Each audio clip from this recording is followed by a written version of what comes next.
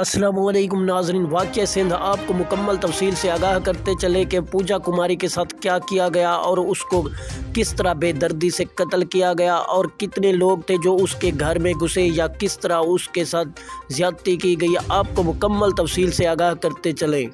जी हाँ नाजरीन, आप अपनी स्क्रीन पर इस दरिंदे इंसान को तो देख रहे होंगे। जी हाँ दोस्तों, इस दरिंदा इंसान ने पूजा कुमारी के सर पर पाँच फैर मारे और उसे कत्ल कर डाल। नाजरीन, पूजा कुमारी का ताल्लुक एक गरीब फैमिली से है और इसकी माँ भी मेहनत मजदूरी करती है और इसका बाप भी। जब वो दोनों मेहनत मजदूरी पर चले गए, पूजा कुमारी घर में अकेली थी। ताहम तीन चार मुसल्ह अफराद इनके घर की दीवार से छलांगे मार कर अंदर दाखिल हुए। किस मकसद के लिए दाखिल हुए? वो पूजा कुमारी के साथ ज्यादती करने के लिए अंदर दाखिल हुए।